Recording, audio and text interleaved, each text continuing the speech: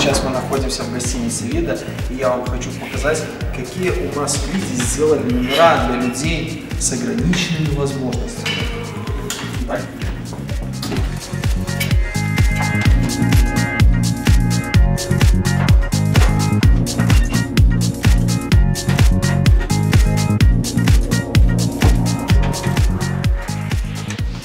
Ну вот номер выглядит как-то так.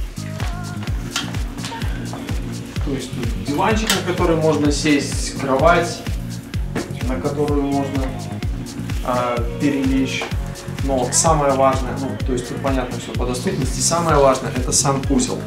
В принципе, в чем весь прикол. Вот, сделали такой даже поручень, супер инвалидский поручень.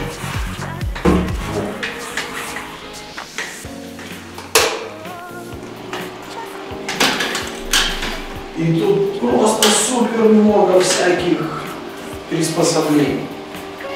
То есть насчет туалета и вот этой штуки вы можете не сомневаться. А насчет душа аналогично. Правда, есть косячок. Мне кажется, здесь как-то чуть-чуть неудобно сидеть. Не наработочка. Тут я еще поговорю, как мы сделаем на, на ренечки такие.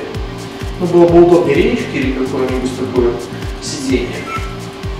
Вот, а в остальном, в принципе, просто идеально. Так что приезжайте в город Лида, останавливайтесь а, в гостинице Лида. А, сюда можно заехать без проблем на коляске. Тут есть кафе, лифт, э, ресторан, там, я не знаю, всяческие общепит, туалеты. И все очень быстро. Все. Туда-сюда. То есть я, я так понимаю, что с помощью нее можно так здоровски подтягиваться и пересаживаться, ну, как бы душ, куда угодно. Вот. Не совсем уверен насчет полезности такой вещи, но может быть, может быть кому-то она и поможет.